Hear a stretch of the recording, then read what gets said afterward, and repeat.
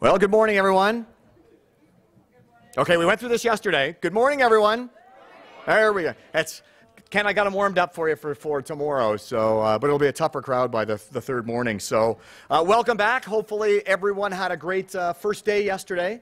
Uh, I know as I was listening to some of the presentations and uh, had a chance to go and see some of the speakers at the, the Cracker Barrel, there was kind of an, an interesting contrast for me yesterday. So, as I was listening to some of the really innovative programs and projects and activities that were being showcased during the Cracker Barrel, I mean, of course, the idea wheel gets turning. And you, know, you kind of think, well, this is what, there's stuff here we could do, we could take back to our communities and do. And then it, I got thinking about a couple of statements that were made earlier in the morning.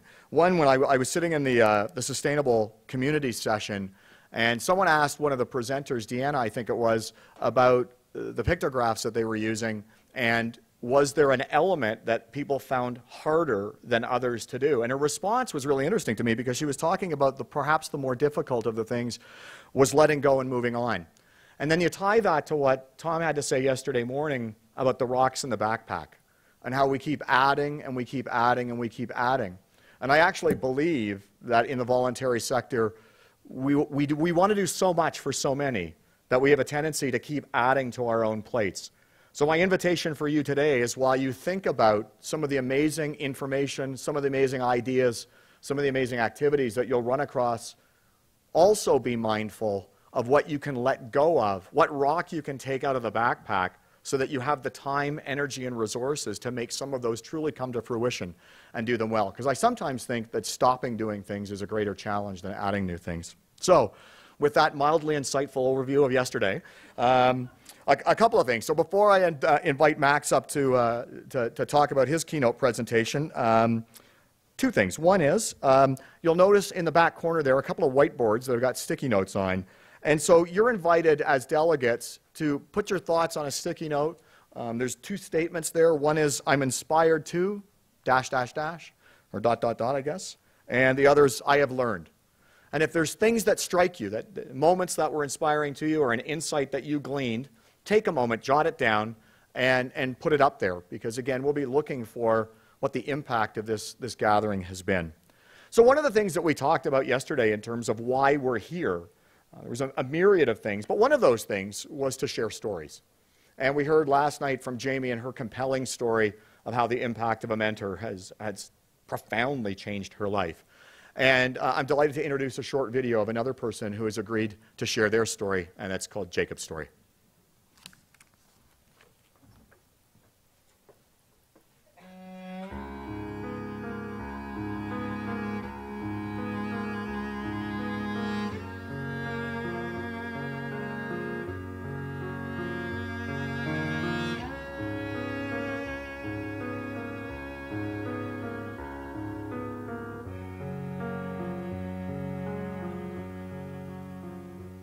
Dad and I shared a pretty special uh, relationship.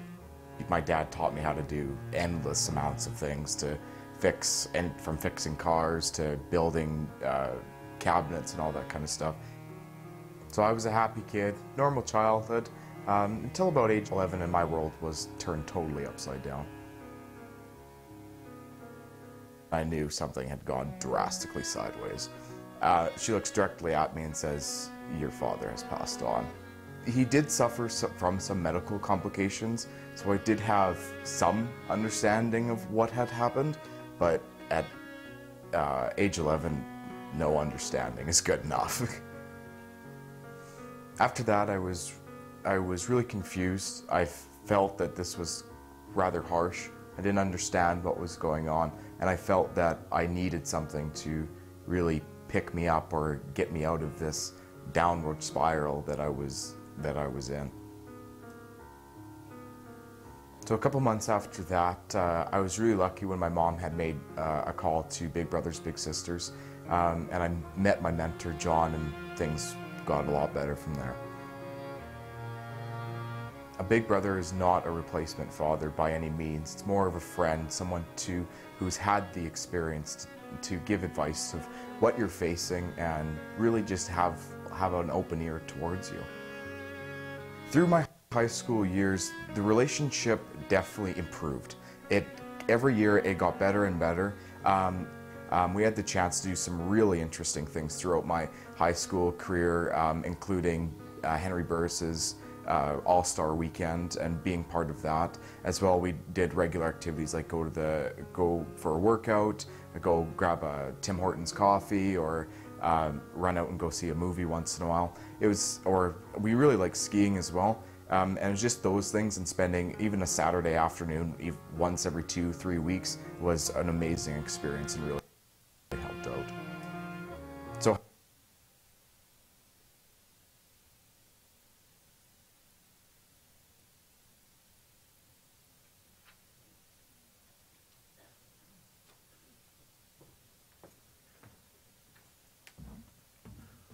do is we'll refine that and bring it back a little bit later. We'll find another spot in the program because I think you'll agree you want to hear the end of that story. So um, it's my pleasure now to introduce the, uh, the, keynote speaker for this morning. So Max Valiquette is one of Canada's best-known cultural and media experts and commentators. A marketer by trade, he was the president of Youthography, a Canadian youth marketing agency where he has gained much renown. He's now employed by the advertising agency Bensimon or Bensimon Byrne as a managing director of strategy. I mean, interesting couple of little facts, opposed to going into his whole list of accomplishments. Is he enjoys sketch comedy. He's actually performed at the Second City in Toronto. He's a former Central Canadian debating champion. Um, he was born in Ottawa, studied at the University of Ottawa, where, where he earned a, a Bachelor of Arts degree. And in 2005, he was named one of Marketing Magazine's 100 most influential people in Canadian communications. Uh, this is actually kind of, kind of coming full circle for me. I've had a chance to see Max present a couple of times, and in fact, the very first time I was supposed to introduce him. and I, I live in Hamilton and was driving to Toronto, and what was supposed to be a 40-minute journey turned out about two and a half hours. And uh, even though I'd left early, I missed the beginning of the presentation, so never got a chance to. So he's going to be talking today about millennials. And uh, for those of you who maybe are a little bit behind or a little bit resistant to the pace of change in this country, uh, you won't be after you hear Max's presentation. He's a dynamic speaker. You are in for an absolute treat. So, ladies and gentlemen, please welcome Max Valiquette.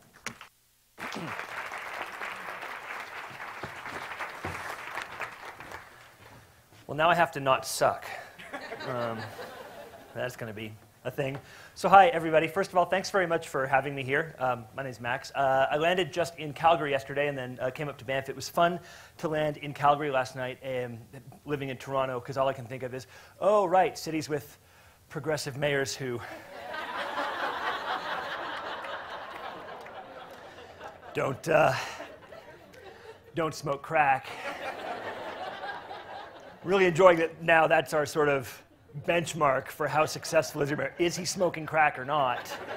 So, fun times in Toronto right now. I think we're about to get a reputation as Canada's greatest party city, which will be a new thing for us.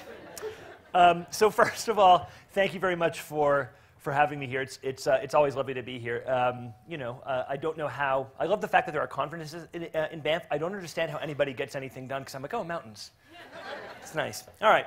Um, so as was mentioned, my job right now is that I'm the uh, managing director of strategy at an ad agency called Bensimon Byrne. We are Canada's largest independent advertising agency. We make the ads for Scotiabank and for President's Choice.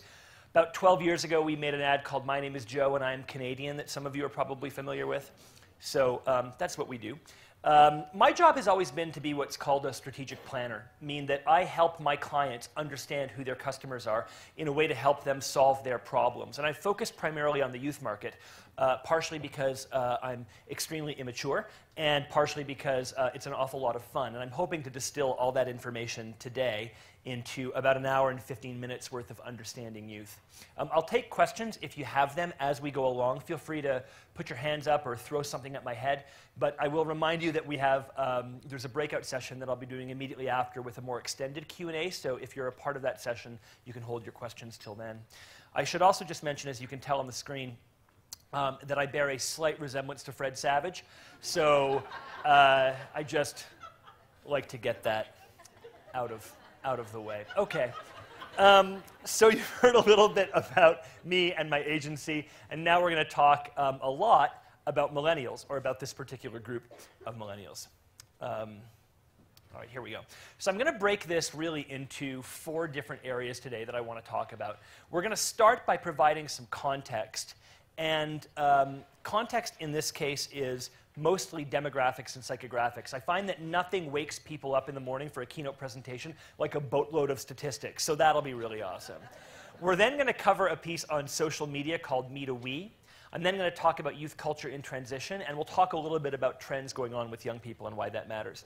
Um, the real thing that I want to just sort of bring up today that I think is important before we start is that uh, you're hearing an awful lot about millennials or young people, and I see a lot of young people in this room. I also know that some of the people who you will be mentoring are also in that age range. We're going to cover a very broad definition of youth and what young people are, but also really explore how they're driving an awful lot of trends that many of us should be thinking about uh, as they sort of cross uh, every single age group. So I'm hoping everyone in this room will find something that's super relevant to them. But um, again, ask questions if, uh, if you need them.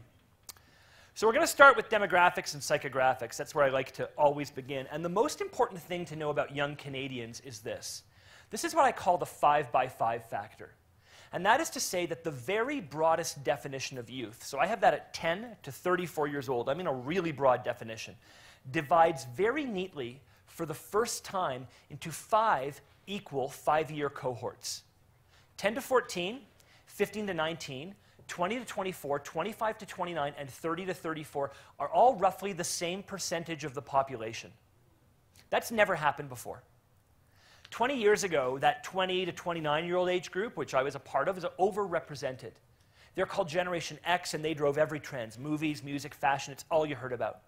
12 years ago, that tween group that now represents only 6% of the population was 9% of the population across all of North America. There was a weird demographic hiccup where 9% of people in the entire continent were tweens. So they drove every trend. It's why Britney Spears and NSYNC and Backstreet Boys were all inflicted on us at exactly the same time. there is now not one subgroup of young people with the numbers to drive trends. And I believe it's one of the key reasons why this broader generation behaves much more cohesively than ever before. A couple more things to talk about that, but let's cover a couple more quick statistics as well. This generation has a different relationship with home and family than ever before. 83% of families with kids at home have only one or two children living at home. That's the fewest number of kids living at home that we've ever had in this country. I think it's one of the reasons why the job that you do is becoming more and more important with every passing year. Our family structure is fundamentally changing, and we're actually having less time to spend with our families, meaning mentoring matters more and more. And I think it's, as a concept, is touching more and more young people in different family structures. In fact, 42% of Canadian families aren't traditional families anymore.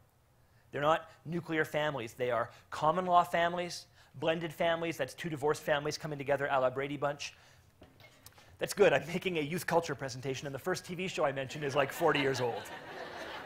It's great. In about 30 minutes, when I bring up Gunsmoke, it's going to be awesome. Um, but the big rising group is single parent families where now something like uh, over one in six Canadian families are single parent families, and that number is jumping higher than any other age group, uh, sorry, than any other family structure. Interestingly enough, there's two counties in the United States, the District Columbia and Bronx County, New York, where the dominant family form, the most common family, is a female headed single parent, lone parent family. So the trend is moving in one particular direction, and that is this changing family structure. As well, more women work outside the home, and more who do work outside the home full time. Three quarters of all women in Canada do both of those things now. Which means even your young person in that quote unquote typical traditional family structure has less time to spend with their families. Canadian families report having an hour less time to spend together every week than they did versus just 10 years ago which is actually a huge drop in a short period of time. It led a young person in a focus group I was doing once to say, 3.30 to 5.30 is my chill time. He said, it's my time for me alone at home. I had this vision that after a tough day in grade 10, he's like shaking up a martini or something and opening the paper. All that being said, they're staying home longer. 44% of 20 to 29 year olds still live in the family home. Hands up if you have kids who are living at home. Kids in this age range who are living at home? Hands up if you are in this age range and living at home. if my mom would take me back, I would go in a heartbeat, but she won't. I just want to take a second to stop on this slide and mention something as we kind of pull all of this together. We're talking about young people that have fewer kids their own age to hang out with in their own home, less time to spend with their families, and maybe less involvement with their parents, but are also staying home longer. There is no surprise to me that this is the generation that invented social media. You've got fewer people your own age to hang out with in your own house. You've got more time in your own house, and you have probably more disposable income and more access to technology because you're staying home longer. That is a recipe for developing some kind of piece of tech that lets you network with all of your friends. We'll talk a lot more about that, but it's important just to hold. Okay, so these are some big demographic numbers. I want to talk a little bit about psychographics as well. What's going on um, inside the head of a young person. And these are probably the most important things you can learn. It's that our young people, our young Canadians, are partially, not fully, but partially entering adulthood at an earlier age than ever before. We educate our kids when they're very young now. We get them baby Einstein books and CDs, and we panic if they can't read and write by the time they're five years old. We begin tutoring and extracurriculars at an earlier age because we tell our elementary school children that we're concerned about how well they're doing and what it's going to mean for the schools they can get into and the jobs they can eventually get. We're actually getting into puberty at an earlier age than ever before. We're going to talk about this in just one more slide. It's going to be really awkward, but we are going to get through it together. There's good evidence to suggest that we are losing our virginity at an earlier age. The general thought is that 25 years ago it was somewhere around 18, now it's somewhere around 17. This one's very hard to track because you ask young people in national surveys, Are you a virgin? And some lie and say they are when they aren't, others lie and say they aren't when they are. Um, I'm looking forward to it myself. Uh, I've heard good things. Um, and lastly, uh, we have what I call the grade 9 career choice. So, on average now, we live to be 81 in this country. And yet, at the age of 14, when you hit high school, you're told that the decisions you make around the courses you take are going to have an impact on what you can do with the rest of your life. These are some very adult things really happening at an earlier age than ever before. As well, this notion of precocious puberty. And I'm just going to read this. It's a quote from Nexus Magazine, a science journal. While I always believe that little girls go through puberty at around 11, 12, or 13 years of age, something very strange was now happening to our daughters. I was now being told that little girls are considered, quote, normal if they start menstruating at the delicate age of eight. Maybe a bit of an overstatement, but here's some things that we do know. 50%, that's 50% of Caucasian girls in the United States show breast budding or breast development by the age of 10. In the African American community, it's even higher. It's 50% show it somewhere around the age of nine. There was a massive study in the States called The Falling Age of Puberty in U.S. Girls, which was about the falling age of puberty in U.S. girls. And it's a doctor who had a theory that one of the reasons we're seeing a greater onset of breast cancer is that we're seeing an earlier onset of menstruation. And so she wanted to go about proving this. And she thinks quite conclusively that in the past century or so, the average age of menstruation, of first menstruation, has probably dropped by three or four years. She can prove conclusively in the past 25 years it's dropped by a year. So, literally growing up faster. There's an art- another article I read just about this in the Toronto Star yesterday that talked about how we're seeing this in pretty much all westernized developed nations. If you're wondering why, I've read everything from uh, estrogen in the products that we use to hormones in the food that we eat. Fundamentally, they think it's something they're calling overnutrition. If I can be really indelicate or undiplomatic right now, we are a larger population, we are a fatter population than has ever existed. We have more going through our systems at an earlier age than ever before. And it seems to be literally fooling our bodies into thinking they are farther along than they actually are and jump starting puberty. So when we talk about our kids growing up faster, they are quite literally growing up more quickly than ever before. Partially.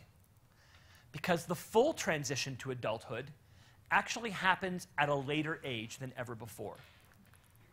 Uh, these numbers are all versus 25 years ago on the left and now on the right. They're all national and they're all according to StatsCan. The median age of post secondary graduation was 23, it's now 25. The median age of marriage sorry, the median age of first marriage was 25, it's now 28. And the median age at which we had our first kid was 26, it's now 29. In a very short quarter of a century, we've added two, three, or four years onto what's typically considered to be the real milestones of becoming an adult, getting married, and having kids. So it all leads to what I would call a prolonged pre adult life stage. Some adult roles and responsibilities at an earlier age than ever before, but the full transition to adulthood actually happens at a later age than ever before. This is the single most important thing I can tell you about this group of young people, and it has implications on everything that you do. Whoops, that's a weird slide. Sorry. Um, sorry, guys. In case any of you want to find out about banking, here's a little bit about that. You're richer than you think. Okay. Um, there's one other thing I do want to talk about as well, because uh, we're focusing a lot on this generation, which people are calling Generation Y, but there's actually a new generation that we need to talk about, and that's the generation right around the corner which is a generation that I think is incredibly important to know because they have more influence on their parents than any previous generation. This new generation, Generation Z, so that's people who were born after 1995 or 1996, who many of you may be dealing with on a regular basis, the very youngest uh, group I'm going to be talking about. On the left hand side is a screen cap from season one of The Real Housewives of Orange County. Anyone watching any of these Real Housewives TV shows? And comfortable admitting it in front of a group of your peers? That's when the sheepish hand goes, it's like, oh, sorry. Um, so depending on how good your eyes are or uh, how far back you are, you may not be able to see who are the moms and who are the daughters. Because they're all styled exactly the same. On the right hand side is a picture from an article about exactly this in New York Magazine, talking about the influence of young people on adults and adults on young people, where entire families look like they've bought their clothes at the exact same place. that place is, I'm fairly certain, a store in Brooklyn based on that. So, one of the things I'm seeing as a marketer is that we used to talk about fun for the whole family, but we don't anymore. We actually push brands that are about cool for the whole family, letting young people determine what is interesting, what is cool, what is different, and pushing that out through the family environment. Some marketers are already doing some interesting things with this. Sprint, about six years ago, seven years ago, uh, did some research into the burgeoning smartphone market. And they wondered why they weren't able to sell these things into families. And so they did some research with families, and they actually found that kids really wanted smartphones, dads really wanted smartphones, but moms were vetoing family smartphone purchases. And so they developed something called the Family Locator app. And here's how it worked you bought smartphones in a bundle of four one for mom, one for dad, one for buddy and sis. And the kids' phones had GPSs that could never be turned off. I talked to a friend of mine at the time who was a mom, and she said, That is completely nefarious, and I want it. Which I think sums up most marketing now that I actually think about it. But using technology to literally connect parents and kids. This is a way that we're all doing this now.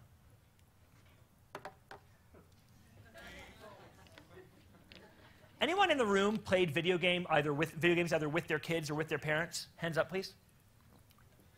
Anyone have some kind of a console system at home where you do that? I mean, that's exactly what I mean. When I was younger, there was no way my dad was going to follow me to an arcade to play video games. In fact, middle aged men who hung out in arcades were kind of creepy. I think if one approached you, you were supposed to yell stranger danger and run off or something but now we actually connect to each other through this technology, and it's often driven by young people. My dad joined Facebook because my sister had a couple of kids and he wanted to see pictures of his grandkids. And she said, You know, Dad, I can send these to you. Or, like, you know, 95% of everyone I know, you can just join Facebook where there are 500 photo albums for each of your granddaughters, each with, you know, 10 sub albums in them. There are millions of pictures. Just do that. And so he joined. Now, he joined initially to look at these photos, but he stuck around you know, his network of people is 28 people, and he goes to Facebook sort of once a week and then scarily gets off of it, but nonetheless, he's there. He started using the technology to connect to someone younger, and he's still going to be around. So, a couple of implications for here. Number one is I often think of Generation X, which is my own generation, as being a kind of non generation, which is to say that we behave very much like millennials or like boomers and I often recommend that people focus on those two, and you'll get this generation to begin with in the middle. I'd also like to point out that your youngest mentors and oldest mentees will have more in common than ever before. And in fact, the age range around which have, uh, people have tons in common will keep growing and growing and growing. And I would say that's probably the number one trend to look out for. Remember, this is, there's a change in your children as parents are also turning to their kids or to kids in general for social cues, for technology, even for fashion and culture. So it's a generation with a lot more influence than ever before as well. And so when we talk about that group of adults and this group of young people and what's different, remember that this generation still reflects what I would consider to be the big existing youth values. And for me, these are the five massive youth values relationships, communication, information, diversity, and empowerment. And you'll notice I have M in the middle for that, which stands for millennials and also stands for media and technology. And I'm going to explain that in just one second. So, because technology should be up there as a value, but it, it's going to enable all of these and fuel all of them. Let's talk a little bit about these values. Relationships, I've talked about how critical that is. Remember, fewer people your own age to hang out with at home automatically, naturally turns into a focus on friends outside the home. This is a generation that values their relationships. Your typical teenage Canadian has a couple hundred Facebook friends. Now, these all aren't like their best friends. I'm not suggesting that. But I would like to point out that for most of us, when we were growing up, we didn't have a network of a couple hundred people. In fact, for generations even before mine, the idea of a teenager knowing a couple hundred people was crazy. You were essentially limited to your class and then maybe some other people at your school or outside your school. This is a group that have grown up learning to connect to large numbers of people and manage those relationships. Therefore, communication becomes incredibly important. Well over 90% of Canadian teenagers report having regular access to a cell phone. I mean, I work in youth marketing, and that still blows my mind. Because for me, it was about having a phone in my room. Y'all remember a phone in your room? Seems practically Amish now, doesn't it? A phone in your room? Like, it's now a device on your person 24 hours a day that lets you talk, text, chat, surf. But that's actually not the most important element of this communication. Having that phone matters, and it's certainly been transformative in how young people deal with themselves and deal with each other. But it's the fact that it's networked. It's the fact that this is a generation for whom it's just as easy to communicate to everyone they know as it is to communicate to just one person. When I was growing up, if I missed a day of school, I couldn't possibly replicate the dozens or even hundreds of interactions I'd had with everyone in my network over the course of a day. You could make some phone calls and talk to people and find out what was up, but you couldn't reproduce everything. Well, now, if you want everyone to know how you're doing, you just update your Facebook status. You tweet about it. Sending a text message to 10 people really doesn't take any more time than sending a text message to just one person. This is a generation who are used to one to many communication, and they work with that incredibly well. I put information up there as a value because if you are 28 and younger, for all intents and purposes, you've never known a world without a free, constant, global source of information at your fingertips in the internet. I talk a lot about relationships and communication, but I actually think the way this generation approaches information might be the single biggest difference between young people and adults ever. So my generation, and I'm guessing, you know, sort of two-thirds of the people in this room, grew up at a time when information was finite. We thought that there was a limited amount of information and that we could organize it. That's how we grew up. That's what the card catalog was all about. Y'all remember the card catalog? An adorable collection of wooden drawers with papers inside. When you wanted a book, you would go to the card catalog and then you would write down that 35 digit Dewey Decimal number. You'd wander around the stacks until you found your book. If you were like me, you also took the book, the three to the left of it and the three to the right because it was the day before your assignment was due and you had to get stuff done. When those library doors closed, we were literally cut off from knowledge. We did not have a way to access information, unless, of course, your parents had a really old set of encyclopedias at home. That was always fun, wasn't it? You're like, in the end of World War II, Russia is now a dominant superpower. I'm like, yeah, it was a long time ago. Um, but we thought that that's how knowledge and information worked. It was finite and we controlled it. That's actually how the Dewey Decimal System was developed. Thomas Dewey was an amazing guy, but he was also a man of his times. So he believed that all information could be categorized into 10 categories, by 10 categories, by 10 categories. That was it. If you're ever looking for books on psychoanalysis, you won't find them in the medicine section because they'd actually filled in the 10 by 10 by 10 before modern psychotherapy was invented thinking we understand all of medicine. This is the only categories we're ever going to need. So I believe you find psychotherapy under religious studies in the Dewey Decimal System. because we thought we could organize all of this information. Millennials and younger have grown up in an entirely different world where information is infinite and you can't organize it yourself, so you need the technology to do it. Y'all use email for work? Just hands up. Microsoft Outlook, anyone? Um, Mac Mail? Sure, so you have folders running down the left hand side. You have that big folder list. And do you have subfolders in your subfolders? And it now takes me 30 minutes. I need a map to find where I've put anything. So Google's email service, Gmail, doesn't let you make folders. You can label stuff if you really want to, and you can. But the truth is, the software can find and retrieve anything you want faster than you yourself can organize it if you just leave it in a big virtual pile. That is an enormous change. Because, again, we encountered email at a time when you were getting just a few messages a day.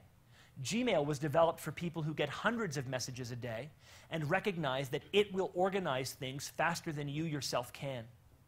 Google's email service actually now has a new algorithm that's a part of it where it prioritizes mail. In your mailbox, it puts a line, and the software thinks when a message comes in, is this important to you or not? And if it is, it puts it above the line. Been using it for six months. It has never been wrong. It somehow knows to put messages from my father below that. No, I'm kidding. Um, I mean, Gmail's uh, amazing. Google's amazing, really, when you think about it. Y'all have used Google Maps or Google Earth? What was the first thing you looked at on Google Maps or Google Earth? Your own house, right? I just love that because it's like billions of dollars in search engine and satellite technology. And the first thing we all look at, we could have just Great Wall of China, who cares? Eiffel Tower, whatevs. It's my roof. But imagine growing up in that world where all of that information is out there constantly, and therefore you cannot possibly hope to manage and organize it yourself, and therefore the software has to do it for you. I was doing a focus group not too long ago with a bunch of young people talking about music, and I'm a big music fan, and um, when I was uh, in university, uh, I had a huge collection of, of, CDs. CDs were small metal discs that we, I'll explain later. Um, but uh, so I had a huge collection of CDs, but I also had three roommates. So once or twice a year, I would have to kind of find everything and re-alphabetize my 500 CD collection. I'm, I'm explaining this story to this kid, 16, and he looks at me and he goes, "Dude, why didn't you just click on sort by artist?" All the music he had ever, I was going to say bought, acquired had happened online. And for this guy, alphabetizing 8,000 songs meant clicking on a column header. For me, it meant two hours of work.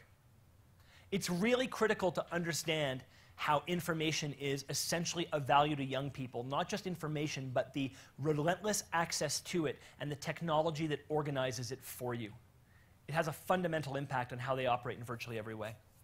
Two other values here. I've got diversity and empowerment. I won't spend a huge amount of time talking about these, except to say that we are probably the most diverse country in the world. And it doesn't matter where you are in Canada, even if you're in an incredibly homogeneous place, if you're in the straight up whitest, smallest town we have, your typical young Canadian has access to more diverse culture than any previous group if they want it.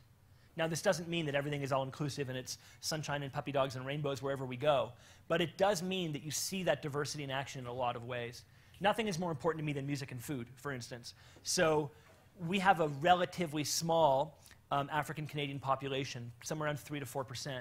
We don't tend to make really great hip hop, Drake notwithstanding. And yet, the number one form of music for young Canadians, and, and which has been for 20 years now, is R&B and rap and hip hop. Because you have access to that culture and you feel like you can connect to it. Food is a great example. Go to your typical mall food court, and what 20 years ago would have been burgers, fries, pizza, and chicken now has a sushi place and a Chinese place and a vegetarian place and a vegan place and uh, 15 Starbuckses. It's been an interesting change just to see those things happen, and I think that's an indication of the way that there are elements of diversity that are filtering through everything we do. It is obviously not a perfectly inclusive society that we live in, but I think this generation expects a kind of cultural diversity to be a part of their lives. And lastly, I've got empowerment up there because all of this is enabled by technology, all of this is fueled by media. You may have heard a narrative in the press about young people being very entitled. It is um, often that we hear adults talk about how entitled this generation of young people is.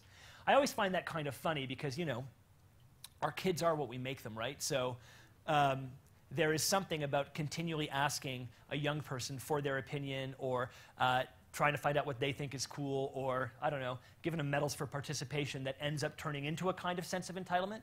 But I actually think that's what it is on the extreme. I think it's more a young person who's empowered and not entitled. I actually think we have a generation of young people, not all of them, but the majority, who recognize that they're able to connect to their world on their terms and how they want to at an earlier age than ever before. I actually think one of the issues you guys might be dealing with is the gap between those kids who can do that and can't do that feels very, very pronounced sometimes, which is, again, one of the other reasons I think mentoring has become more and more important. All right, all that being said, we've talked about technology, we've talked about media, and let's get to a quote from a guy named Jaron Lanier, who is a technocultural theorist. He said, We already knew that kids learned computer technology more easily than adults. What we're seeing now is that they don't even need to be taught. It's as if children were waiting all these centuries for someone to invent their native language. I love that quote. I wish I'd written that quote. And it's a good time to talk about how this generation of young people has actually taken all of these values, wrapped them in technology and in media, and used them to fuel and create these new youthful collectives that we're calling social networks. And I want to talk about this in a section that I call Me to We, where I actually think the development of social media and the development of social networks is actually an indication of a kind of empowerment of young people and something that they've put together themselves. I want to take a couple steps back before I do that. So I started hearing a lot of quotes from young people about six, seven years ago. Things like, my friends are my family and I can't live without my cell phone. I heard from parents, why do they spend so much time texting? Why is my daughter on Facebook all the time? Or the big one, don't they care what is out there being written about them? That's a huge one. And it made me realize that we've moved from a world of me and we've moved into a world of we. A world of connected young people using social media to live very much in the now, in the present, and in their own world. And an author named Emily Nussbaum in uh, New York Magazine wrote a great article about this, and she said that the difference between how young people and adults express themselves online represents the biggest generation gap since rock and roll. I believe her. So I want to take a couple of steps back. For boomers and Generation Xers, that's the generation before mine and my generation, it was the age of me. And the age of me was always the age of next. There was a fairly short period of time between being an, an adolescent and being an adult. It was a, actually a very short period of time, sometimes just a couple of years, and certainly never hitting more than five, six, or seven years. So youth was very much seen as a kind of passage to adulthood it wasn't really a stage of its own. There were youth movements like the Summer of Love or punk or disco, but those were seen as being at war with adult culture. There was also no internet, so there was no easy way to connect to every young person like you and share what you were all doing in common. So we always asked our young people this same question What are you going to be when you grow up? Almost like what they were being now didn't matter. For millennials, it's different because it's the age of we, and the age of we is the age of now. Adolescence isn't a short period of time anymore. It can be 10, 12, even 15 years. You're no longer getting out of high school and all of a sudden automatically on the road to getting a job and having kids and getting married. You could have a very windy path that takes you in different directions. There is an internet that allows you to connect to every other young person like you, so you are able to celebrate those youthful moments and as we've talked about, adults care more about what's happening with young people, so even they popularize some of these things. So we no longer actually ask our young people what they're going to be when they grow up. If you hop on Facebook, it actually says what's on your mind. Twitter doesn't say what's happening tomorrow, Twitter says what's happening right now. Tell me and share it with everybody. I believe that all of life's mysteries can be solved through uh, teen movies. So I'm going to use examples of teen movies from a previous generation to this one just to really hammer home this point. Y'all have seen John Hughes movies? Uh, 16 Candles? Hands up, please. Uh, the Breakfast Club?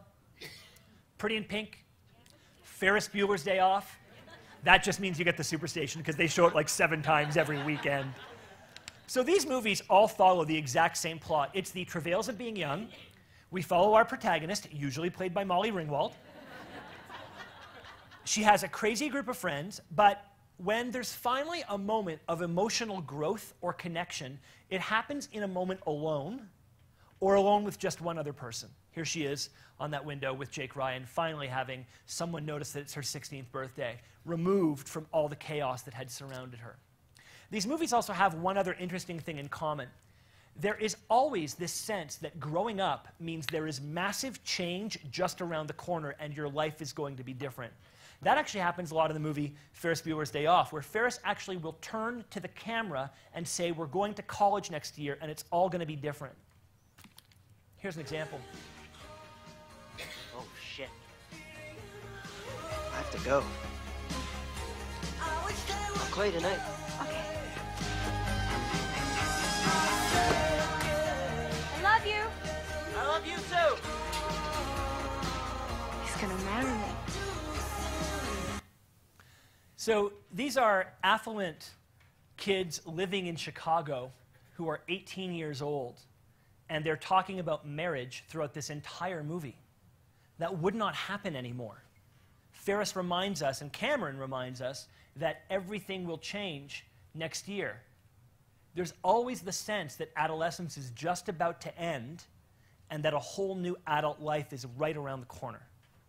Compare that to a pretty charming movie from about five years ago called Nick and Nora's Infinite Playlist. Anybody see this movie? It's the one where Michael Cera plays an awkward kid. so you're familiar with his oeuvre. That's great. So it follows the exact same plot lines as a John Hughes movie. We have uh, the travails of being young. We have our protagonist, this time played by the slightly more feminine than Molly Ringwald, Michael Cera. We've got a Sorry. Well, he's not here to defend himself. It's awful. Uh, they've got a crazy group of friends. But this moment of personal growth or connection doesn't happen alone. It actually happens when you are still connected to your entire network. And there's not a sense that everything is going to change. In fact, this is just another night, no matter what kind of growing up has to happen. Here's a scene from that movie. I apologize, they're going to use a bad word or say something in a bad way. I love you. I love you. I love you so much, it's retarded.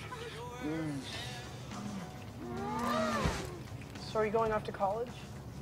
Um, So, so good. I don't know. I got into brown, into Brown. Oh, brown, you smell like soap. but I have this job lined up here, which is I really don't know, and I have to make up my mind fast. Because they're only holding my spot at Brown until tomorrow. I'm going to Berklee School of Music. Oh yeah, Boston. that's awesome. If you went to Brown, you'd only be an hour away. Yeah. Oh, what's wrong? cramp, What? What? Hold on. I, my hand's stuck on the cramp, seatbelt. cramp, cramp, cramp, cramp. Oh. oh. So I love that clip for two reasons. One is, again, there's nothing that ever happens when you're removed from your group of people. You could be having a serious conversation in the front of a car, and your two friends could be macking it out in the back of the car, and that's just how it works. But more importantly, that's it. That's it for conversations about the future. I have to decide because they need my application by tomorrow. Let's go to a concert. Let's go have fun. There is no uh, sense that it's, it's going to all change, and there is no gap between something happening to you and your whole network finding out about it. So, if it is always now and we are always connected, we start to share more and more with each other. We see other people sharing more and more with themselves and with each other, and we start to send information back more and more quickly. We start to relax maybe what our standards of privacy were. We, we start to use it in a more robust fashion. We end up always giving to the network, and we end up always getting from the network. So the line between what is public and what is private is shrinking. The line between consumers of culture and makers of culture has pretty much ceased to exist. That's as good a time as any to talk about technologies. 93% of young people are online daily, 92% own a mobile phone, and three quarters of those are smartphones. Those last two numbers are very important because they far outpace the rest of the population. And so they are using these social networks to connect with each other and to share everything as it happens. When I started making this presentation a few years ago, I would talk almost exclusively about Facebook and Twitter, but obviously we've seen other networks rise. So I'm just going to ask for a show of hands. Who's on Facebook? Who's never been on Facebook? Who thinks I'm speaking German when I say Facebook? Who's on Facebook right now? I just got to. Okay, good. I just had to update my status. Um, Who's on YouTube? As in, who's broadcasting on YouTube from their own channel? And who's ever watched a video on YouTube? Okay. Uh, Pinterest? Anyone using Pinterest? Guys? Any guys using Pinterest? I'm going to skip the next breakout session. The four of us are going to talk because, okay, that's good. Uh, Twitter? Who's on Twitter? And um, who has never been on Twitter? And who thinks I'm stuttering when I say Twitter? Anyone in the room who uses Twitter but never tweets, just uses it to curate information? Becoming more and more popular. 42% of people who are on Twitter never actually broadcast themselves, they just use it as a way to get info. And lastly, who is on Instagram? Who took a selfie today?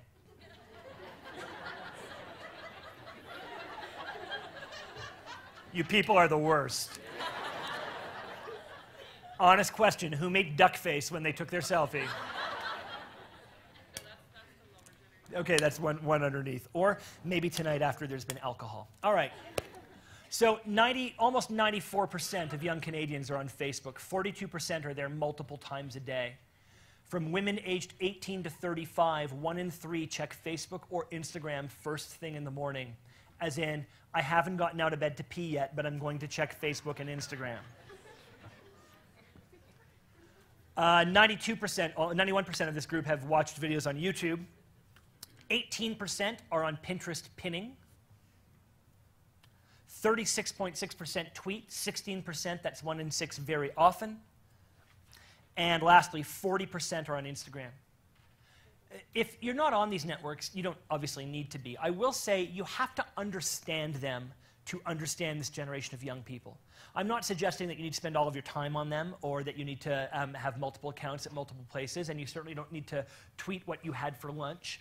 But you do need to follow along. So my big recommendation is there is two things. One is, honestly, if you've never been on Facebook, you need to just hop on like Wikipedia and read about Facebook to understand the history and what it is. But I follow a website called Mashable, M-A-S-H-A-B-L-E dot com. It's a um, social media and technology website with regular updates, and it will fill you in on the big trends that are happening um, with these different, different social media. It's really important to, to simply know, because I don't think you can understand young people without understanding them. Um, Twitter has become more and more important for young people. In fact, there are concerns before um, uh, it's about to launch its IPO. There are some concerns actually that uh, teens and uh, tweens especially are abandoning Facebook or not getting on it and instead using Twitter. So for those of you that aren't on Twitter, it's a social media uh, website like any other. Uh, you log on, you create an account, and you choose to follow people who can choose to follow you, and you update 140 characters at a time. It's really popular simply because it works incredibly well with a mobile device. You can instantly tell your network what you're doing from your phone very easily. It's not really bandwidth heavy. Uh, there are hundreds of millions of people on Twitter worldwide now, but it's interesting how much it's grown with this group of young people. And I want to say everybody's on Twitter. And by that, I don't mean every person. I mean that people are on Twitter, but Restaurants will get on Twitter to tell you about their specials, and every news outlet is on Twitter. And as they release a new article or a new piece of information, they will tweet out about it. And brands are on Twitter, and celebrities are on Twitter. I think Katy Perry just passed Justin Bieber to have the most followers on Twitter of any celebrity. So, depending on whether or not you're uh, 13 or younger, uh, that's a good thing. So remember some implications for your group in particular. Sharing is absolutely fundamental for young people. It is not just about communicating, it is about sharing. And social media, no matter what your age is, behaves youthfully. It is driven by young people. So being connected to a young person means connecting through technology more than ever before. Understanding where they want to connect is critical, but also understanding what it is they want to keep private. And Facebook is not the only social network. I actually have noticed a shift, particularly with some of my female friends, that Instagram has become their go to social network because they just like to communicate visually and it's easier for them. Take a picture, talk about it, and send that to your network. If I come back in five years and make a presentation like this, we will be talking about three or four different social networks that have popped up since then. So this is a really good time to talk about culture and how culture works. We've talked about their demographics, their psychographics. We've talked about the technology and social media. Now let's talk about the culture that allows them to create and to connect and to communicate through. Because the big question for all of us fundamentally is how do we engage young people? You want to connect to them, you want to actually find a way to relate to them. That often happens through their culture, and that culture is changing quite quickly. It's a part I call culture in transition and the three C's change, charge, and challenge. Change coming from relentless change in culture, putting young people in charge of their own lives in a way that's never happened before, allowing them to challenge the status quo and make some changes that have an impact on all of us. Let's start first and foremost by talking about change. Because for the longest time, technology moved very, very slowly. Adults controlled youth culture, or at least the distribution of it, and that wasn't changing. But over the past 15 years, we've seen a faster speed of technological change, and this is having a huge impact on youth culture. So now, a huge speed of change is regular. Technological change creates cultural change. Prices have dropped on everything. And the bigger an organization you work with, the harder it can be to deal with this change. There were a series of TV ads just a few years ago that talked about how it was possible now to go out and get a really good $1,000 laptop. Kind of laugh at that for a couple of reasons. One is, anyone remember when a really good laptop was like four or five thousand dollars? When home computers were at least five grand? When cell phones were these enormous devices that looked like they were designed by the Russian army in 1945 and cost you 1500 bucks? So this, five years ago, charged people with can you find a great laptop for under $1,000? Of course, they all could. It was a TV ad. Now you can find a decent machine if you want to for 500 bucks. It has democratized technology and put it in the hands of many of us, and it changes really quickly. It took a long while for us to go from having cell phones to texting with them, and a much shorter period of time for using them to send images, and a much shorter period of time after that to sending video. Every new technological change happens twice as quickly as the last one. This is probably the best example of change I can give you. This is a small, barely known con uh, consumer goods company called uh, Apple who made something called the iPod that one or two of you might have heard of. Anyone remember the first slogan for the very first iPod? It was a thousand songs in your pocket. A thousand songs is now a really crappy iPod because only a year and a half later, they came out with the iPod Mini, 1,500 songs smaller in color. Then we had the first iPod Shuffle, 125, 250 songs, size of sort of a pack of gum. Then we had the first iPod Nano, thin as a pencil, color screen. Then the first iPod Video, which held 10,000 songs and played movies. We had the second iPod Shuffle released, which was about a third the size of the first one. The second iPod Nano lasted nine months. It was discontinued, and we had the third iPod Nano, and then finally, our first iPhones and our first iPod Touches. All of those were reinvented the year after they were released. All of those were reinvented again the year after that, and again after that, and again this year with the 5S and the 5C. It happened so quickly that this is what Tina Fey and Amy Poehler had to say about it. Ladies and gentlemen, I'm thrilled about this. Introducing the new iPod Pequeño. When did that come out? Just now. The iPod Pequeño, the smallest iPod yet. It holds a million songs. A million songs. A million songs. Has an eye counter that goes. So they're obviously making fun, but the point is a good one. Who in the room is using the first cell phone they've ever had? I don't mean as a doorstop or a paperweight. I mean who's using it. Who's on their second? Who's on their third? I like how I'm like, who's on their second? And it's like, young people. Well, that makes sense. Okay. Who's on their third? Their fourth. Their fifth. Who honestly can't remember because you've had so many damn cell phones? So again, when they first came out, they were huge and expensive, and you just have the one. I remember I got my first phone in probably 1997 or so, and as I was leaving the Rogers store, I thought to myself, oh, good, I am done. I have one of these. I'm, I'm finished. Not realizing, of course, that it would be obsolete by the time I actually left the mall. So that level of change is important. But also, who bought an iPod when they first came out? Remember what you paid for it? $600, $700? And it was 10 gigs with a black and white screen. Now, a 64 gig iPod Touch, which is 1,000 times the computer that first device was, is three or four hundred dollars. It's not just that there's this speed of change, it is that the prices on this technology drops. And that's the reason why, as you've seen, 75% of young Canadians have a smartphone. It's because you can get an iPhone 3C for $99. All right, so change leads us to charge. Because for the longest time, there was very little personal control or choice over communication and culture. The internet and digital culture has now changed everything, though. It's a world of culture on demand and a world of, of communication on demand. So now, there is a seemingly infinite choice of what to consume and when and how to connect. And more importantly, there's been a control shift from creators to consumers and from adults to youth. There are tons of amazing examples of how this has happened, but nothing is probably a better example of this than music. So, who in the room used Napster? I'm not a police officer, so who in the room used Napster? So, y'all remember when Napster came out and it completely changed the way we all interacted with music? It was an unbelievable feeling, not really because it was free, although free is nice, but because all of a sudden the device you use the most often, your computer, opened you up to every song that was out there. The uh, recording industry obviously hated this. They have made their entire uh, life's work on selling you music in formats that they wanted to and not that you wanted to. So they tried to shut Napster down, and they did. And what happened? A half dozen alternatives popped up the next day. Who used Kazaa? Audio Galaxy, LimeWire. Oh, you Apple cultists, I love you guys. Uh, who's been paying for their music on iTunes? Oh, wow, I've heard of you guys. I've just never seen so many in one room at the same time.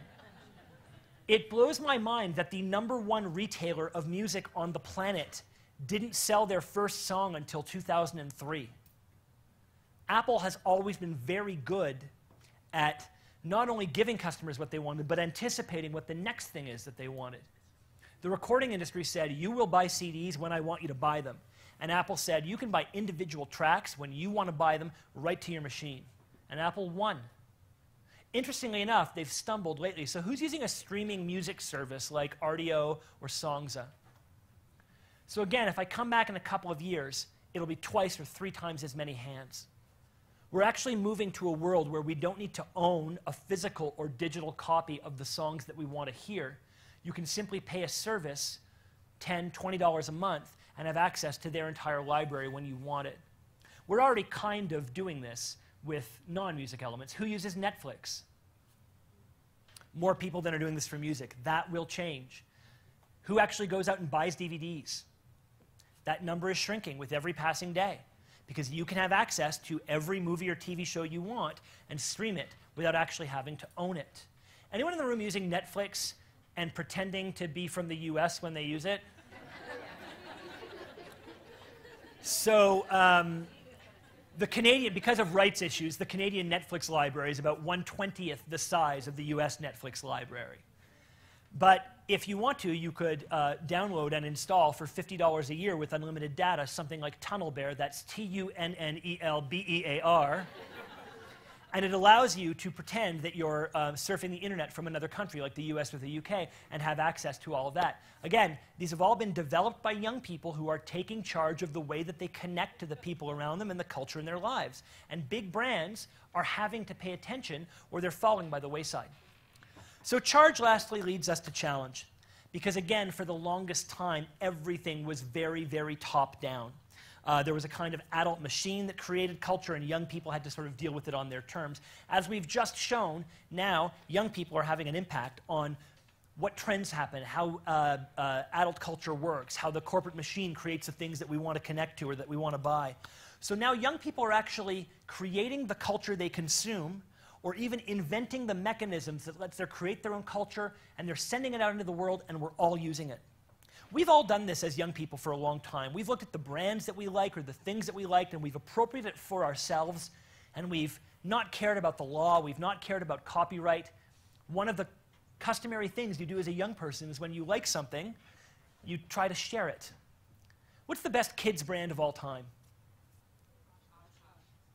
You just like tiny overalls. What's the, uh, no, kidding. Um, I gotta say it's Disney in that these guys have been doing what they've been doing for 80 years really successfully, but they've been doing it by holding on to these characters that they have. Not surprisingly, Disney has the most angry group of trademark lawyers in the entire country, and their job is to make sure that you do not recreate Mickey Mouse or Donald Duck without paying them a hefty licensing fee. Except, of course, our kids have been doing this, and parents have been aiding and abetting this heinous crime, but it just looks like this. We have always wanted, as young people, to take the culture that we like, reappropriate for ourselves, and send it out into the world. So young people are now doing that, either with mechanisms someone else has invented or mechanisms they'll invent themselves. About six years ago, there was a digital short on Saturday Night Live called Lazy Sunday. Anybody see this one? It's Chris Parnell and Andy Samberg rapping about going to see the movie The Chronicles of Narnia. It's much funnier than I'm making it sound. Okay.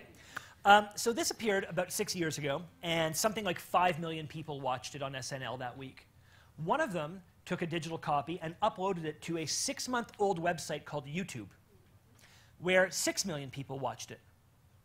So, just to be really clear, a 100 year old or 80 year old TV network with a 35 year old TV show was able to get this out to 5 million people.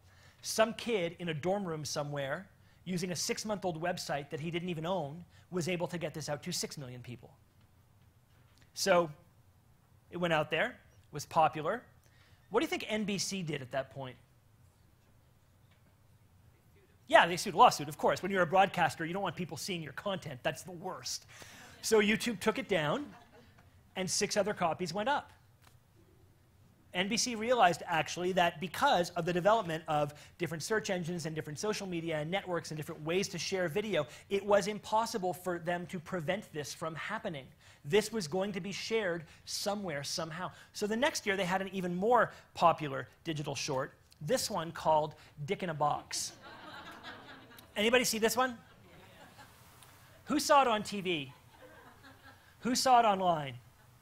That's because NBC sent a pristine, uncensored digital copy to YouTube, and 65 million people watched it in the first month. 12 times as many saw it on TV. They recognized that they couldn't prevent this from getting out there, so they had to rethink their entire strategy for how they were going to distribute their content. And I would argue that the Saturday Night Live brand has become completely reinvigorated by these digital shorts that they release not through TV. This one was so popular that year that it was actually my Halloween costume.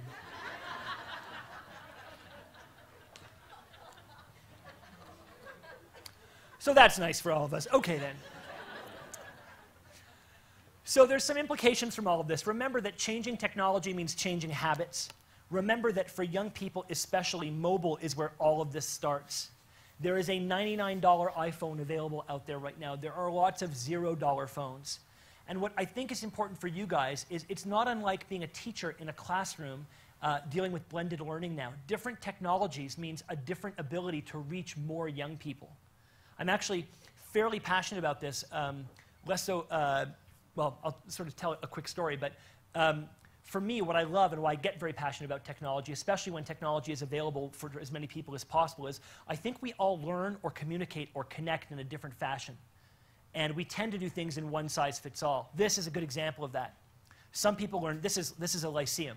This is a 2,000 year old piece of te teaching technology I'm using. It's an auditorium to speak to people. And some people learn very well this way, but some people don't.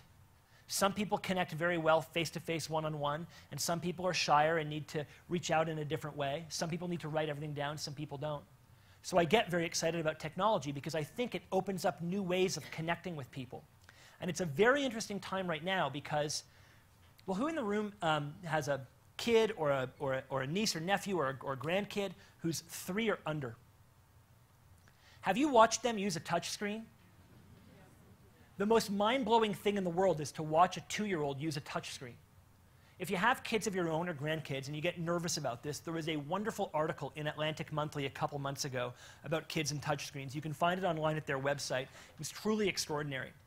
Um, and essentially, what it said was too much of anything is bad.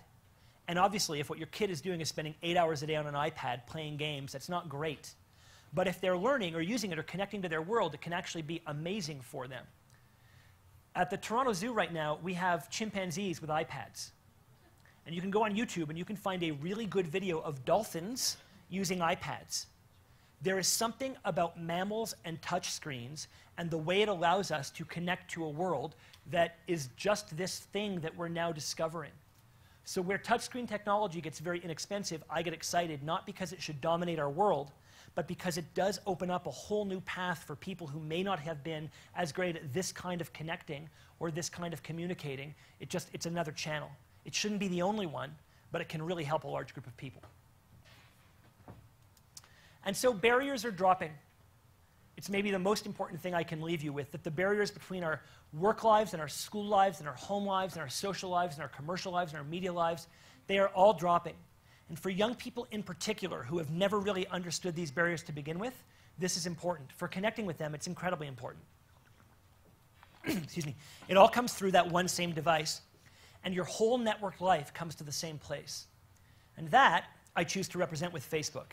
So that's an example of my Facebook page. But everybody is on Facebook. And by that I mean every single category of person or organization is on Facebook. Brands are on Facebook. Starbucks, not surprisingly, has millions and millions of followers on their Facebook page. However, there are also like 30 I Hate Starbucks Facebook groups out there as well. And one of the things they've had to learn to deal with in keeping open, transparent communication is someone will post on their wall that they hate Starbucks. They'll announce a new single origin coffee has come out, and someone will say, here's what actually is happening with that farmer, for instance. You just have to deal with this because it's all come together. We're seeing Facebook at home. This is a good example. It's going to be a little hard to read, but has anyone ever been on a, a website called Lamebook? So Lamebook is the best of the worst of Facebook. I should warn you, if you spend any time, like go there and just give up an afternoon. It just sucks you in for an entire afternoon. So here's a good example from Lamebook. This is, um, well, it was a brother and sister, and they lived at home together. They're teenagers. Um, and they had fairly strict parents. So she went into his room and found some beer that he had hidden and ratted him out to mom and dad. So he went into her room and found something called her hookup list. And this was a list of all the guys at school she either wanted to get with or the one or two that she had gotten with. He scanned it, he uploaded it, and he tagged every one of those guys. So the comments below are devastating and hilarious at exactly the same time. This happened when we were all younger. Initially, it was people writing on bathroom walls, and then it was, uh, you know, photocopied sheets of paper posted up around school. Now it's just been weaponized because of the internet, where it all comes together. Um, there's some bad words in this next one, but here's a girl uh, from the UK who updated her Facebook status to say, Oh my God, I hate my job. My boss is a total pervy wanker, always making me do stuff just to piss me off. Wanker. So, first of all, just a moment for the King's English, because it's lovely, isn't it? He writes a couple of things, but then he says, That stuff is called, oh, sorry, he, he, he writes underneath, I guess you forgot about adding me on here. This is her boss, who she added as a Facebook friend, and then said some pretty bad things about. And he said, That stuff is called your job, you know, what I pay you to do. But the fact that you seem to be able to mess up even the simplest of tasks might contribute to how you feel about it. And lastly, you also seem to have forgotten that you have two weeks left on your six month trial period. Don't bother coming in tomorrow. I'll pop your pink slip in the mail, and you can pick it up whenever your stuff up whenever you'd like. And yes, I'm serious. So what I mean by everything coming together is if you've added your boss as a Facebook friend, you probably shouldn't be trashing your boss or your workplace. We are going to see many more examples of this. Um, specifically, so far, a burgeoning trend is young people, new employees, being unable to get the time off work that they want to, to go do something fun, faking sick, and then not realizing that whenever you go do something fun, there are a million photos of you doing that fun thing, and that even if you haven't added your boss on, it's a small world now. And so if you haven't reset your privacy settings for friends of a friend, you're going to show up in someone else's feed. Even if you haven't been tagged in a photo, someone may recognize you when you were in a photo somebody else uploaded that your face is still in. One of the big changes happening in Facebook right now that I want to talk about really briefly is facial recognition technology. Where already, you remember when you used to upload photos, it would just have people in the photo and it would say, you would have to tag them yourself. Now there's a little square that seems to go around somebody's head and it says, Who is this? Within a couple of years, that square will say, Is this Max? Because it's going to recognize my face. Or is it Fred Savage, depending on how good the software is? Full circle comedy, everybody. That's what you get with me as a speaker.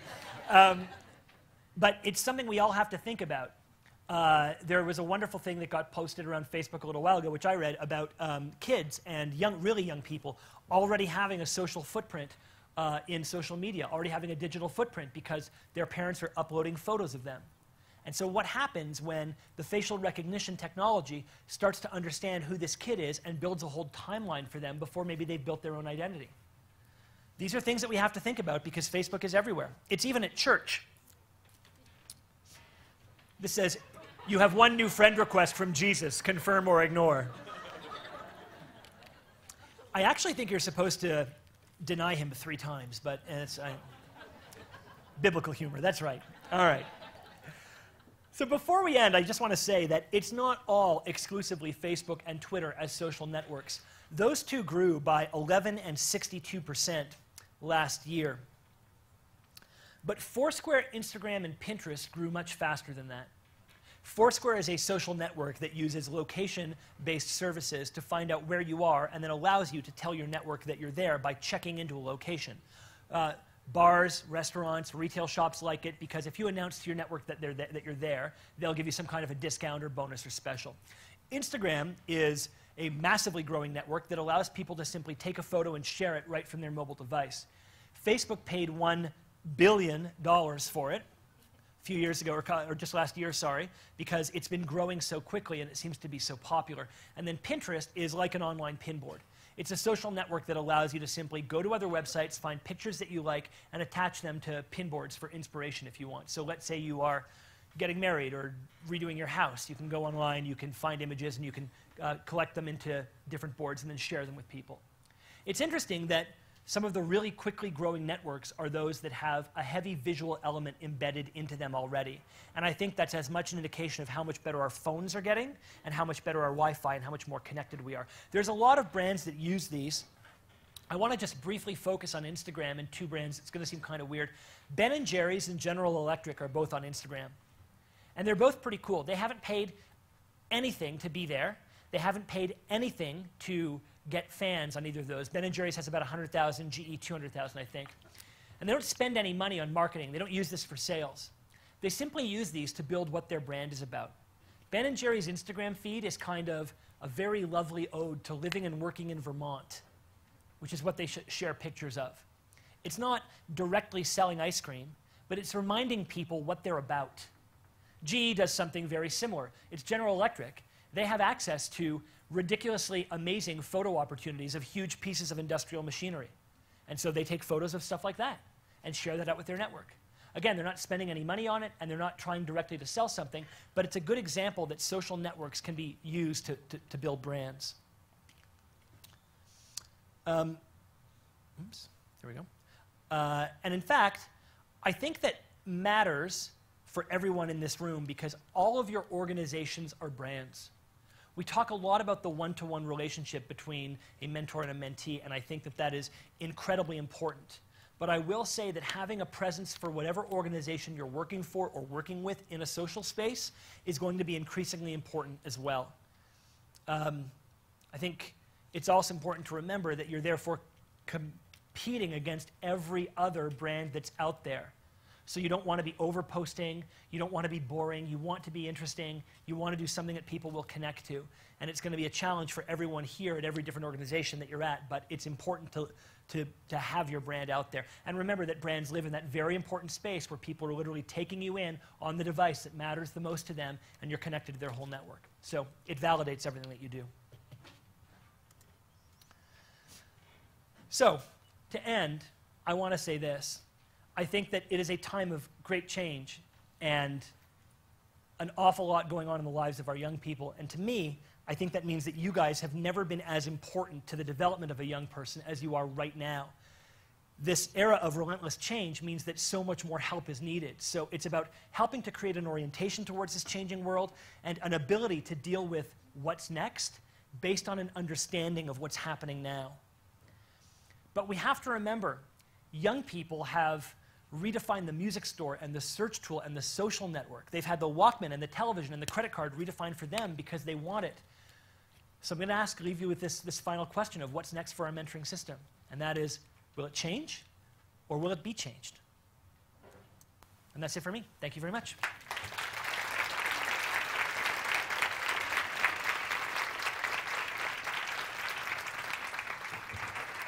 I can, I can take some general questions if you want. Yeah. Sure, we, we, we've got a couple minutes if anybody has a, a question that they, they want to ask right away.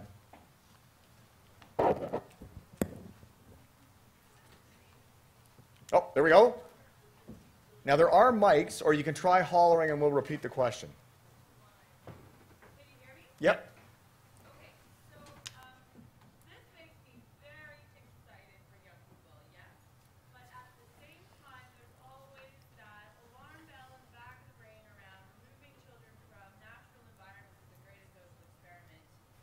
period. And I wonder if you have encountered or have any feedback around, has there been blending between um, engaging in natural environment and online environment? And how, like, you know, is that something that you foresee coming as well? Or are we generally stepping into this great divide of the online world as being the predominant world? So it's a great question about the gap between online, the online world and the natural world, and is there is is the gap growing? Is the divide getting bigger? Um, so I've been. Uh, this really isn't planned, and I'm going to answer your question in a in a in a in a roundabout fashion, if I may. Okay. So. Um, I've been writing a new trend, which uh, I haven't totally finished yet, but I'm going to share with you guys now anyway. Okay.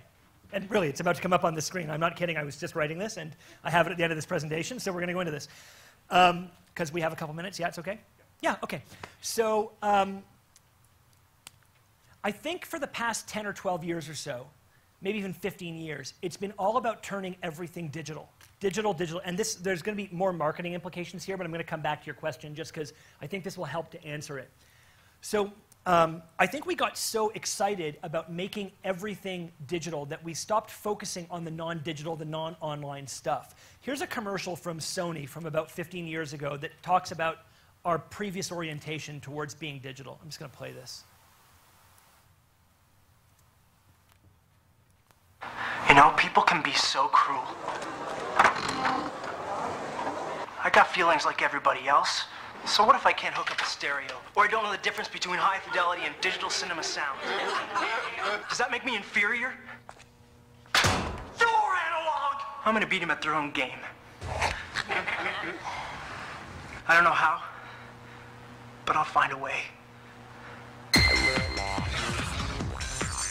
So, when the internet was nascent and we were all taking it on, and again, the price of technology was dropping, all the things started to happen. Our focus was exclusively on let's make everything we possibly can digital. Let's get digital versions of anything. And we mocked people who weren't somehow digital.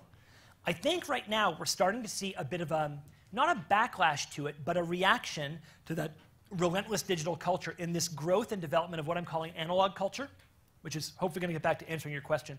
It's not anti digital, it's a reaction that we can live in a world that is a combination of digital and analog, and that anything that is just digital is providing us not the full experience that we want to. I think people are looking for more human experiences.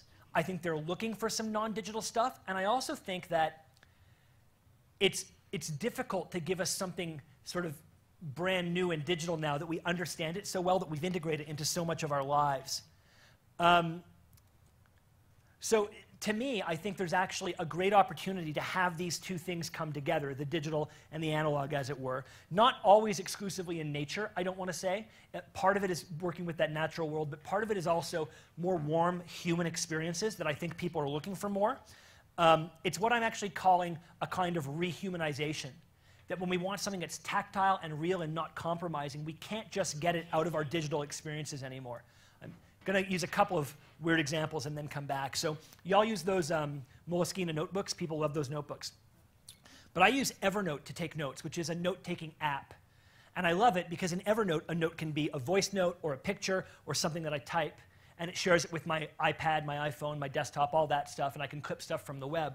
Well, amazingly, these guys have developed a notebook that works with Evernote, where the pages are actually designed in such a way that they're easier to take photos of, and you can actually draw a tag and it'll automatically file it for you correctly. That's digital and analog coming together, and I see a huge growth of that. Um, this is a great example. This chart shows you the growth of vinyl album sales over the past 20 years. Where again, in the early 90s, it was all about, I don't want records, give me CDs because I, I want to get my whole collection there. And then uh, in the last decade, in the aughts, uh, it became, I want uh, everything I have to be available on my iPod or my iPhone. And so we all do that now. Everyone can have access to every song they want digitally. We don't have to focus on that. So people have instead said, well, look, analog music sounds better. Our ears are analog. Your speakers or your earphones convert digital tracks back into something analog, and records provide a warmer, richer sound for that. So, yeah, I have my iPod and I have every song ever, but also connected to my speaker at home is a record player for better sounding music. Um, it's obviously uh, the kind of thing that's happening more with you know rock and classic rock than any other genre, but I am seeing this grow. And as you can see, we hit a, uh, the, the, highest number of vinyl records sold in 25 years in the last year. So there is that kind of growth. I'm also seeing it a bit in artisanal or handmade culture, where um, you know sites like Etsy are doing incredibly well because they're allowing people to buy a handmade good, but you can only do it if you've got access to that person through the internet. By the way, if you're ever on Etsy, it's amazing, but you should check out a site called Regretsy, uh, which has the worst purchases people have ever made on Etsy. Um, a French telecom company actually, uh, when you signed up with them, they um, gave you, as, uh, for signing up with them, they gave you a Facebook, meaning they created code that went into your Facebook page and actually gave you a glossy paged hardback book of everything that was happening to you on Facebook. It was a hugely popular promotion because, again, it's digital and analog. Um, I have one other interesting example that just came up. Um, a Canadian example, actually. Have any of you guys seen the Budweiser red light? So there's nothing more analog than when you're at a hockey game and your team scores and that red goal light goes off and everybody goes insane. So Budweiser actually did something where you could order a red light just like it, install it wherever you watch TV, hook it up to your Wi-Fi, and when you're watching a hockey game and your team scores, the light will actually go off in your house. 150 bucks it was. It wasn't free, and they sold out. And to me, that's a good example of a digital and an analog experience coming together. So it's a long-winded way of answering your question, but I was so excited because I'm working on this and somebody asked this, so this, we're, we're, we're growing together. Um, I, I think the important thing to say is this it's not digital or nature, it's digital and nature. And it's not just nature, it's that whole group of, of tactile, real, warm analog experiences that can't be replicated through digital. I think the big mistake, if you want a young person to get heavily interested in that, and who can look at that and not get heavily interested, the big mistake is to say, um, I don't want you taking pictures of this on your phone when you're out, when you're out there. It's like, take pictures of this on your phone and also live in this moment and enjoy it at the same time. And I think those things coming together is how, ideally, uh, it's going to be the best possible result for our young people, building those two together and seeing that there's already a demand for this real, warm human stuff. And I think that there's, there's a great opportunity to bridge the two. If anyone else has a question, it won't be that kind of an answer. I, think, I, think, that's it. Okay, thanks. Thank you guys. Thanks. Thanks, thanks everybody. Thank you.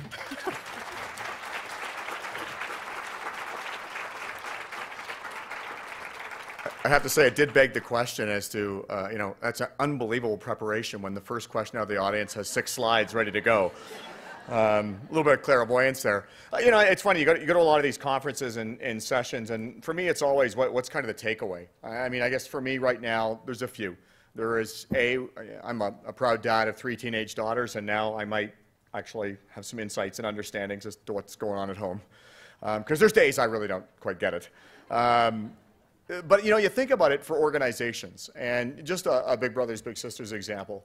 Uh, we know from our national database system that the average age of a volunteer at the time they inquire is uh, that 75% of our volunteers at that time are under the age of 30. So we're a 100-year-old organization, but our critical mass of both the young people who are receiving and benefiting from the service and those who are the primary delivery system of the service are all under 30. And so, what does that mean for us as an organization in order to communicate with, attract, recruit, train, all of those kinds of things? The other question that it, it often leads us to ask is that quite often there's a belief that a mentoring relationship is this much older, trusted kind of guide. They're not that much older. And so, what does that mean for us in, in how we prepare our mentors uh, to be able to deal with situations or issues? The kind of ways that we're communicating with them as we think about wanting to have long term, consistent, strong matches to be able to provide an impact for young people. But some of these don't have very much life experience themselves if you, if you, you think about the prolonged adolescence. And so it raises questions. And I think those are always good things when you go to sessions like this. And you, you think about information that we've been presented with and how can it impact our, our daily lives in the work. So once again, a round of applause for Max Valiquette. Thanks very much.